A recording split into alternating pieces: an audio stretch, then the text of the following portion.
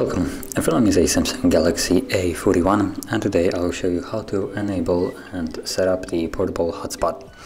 So to get started, let's pull down the notification panel where we will find the hotspot toggle, which is right here. Now the position of it might vary, but the name will not.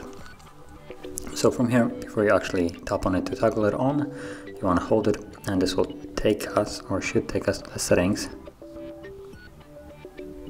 Apparently I'm in airplane mode, so let's just disable that.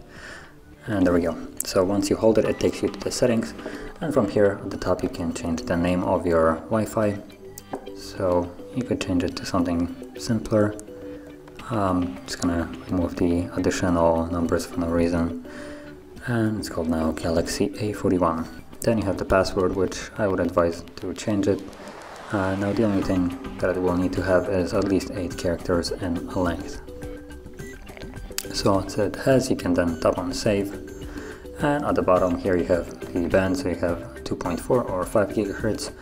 Now if you're to be connecting to your Wi-Fi with an older device, uh, then I would keep it at 2.4, but if you have a relatively newer device from like a couple of years, uh, it should be good enough uh, to handle the 5 gigahertz.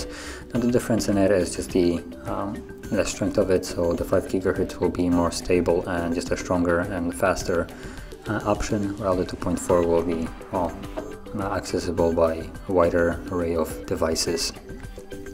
And even when you select it, it gives you that devices that don't support 5 GHz won't be able to find or connect to your hotspot. So if that is the case, if you don't see your uh, network, even though it's connected in your Wi-Fi list, then go back here and change it to 2.4. Otherwise, I would just keep it at 5. It's gonna be better.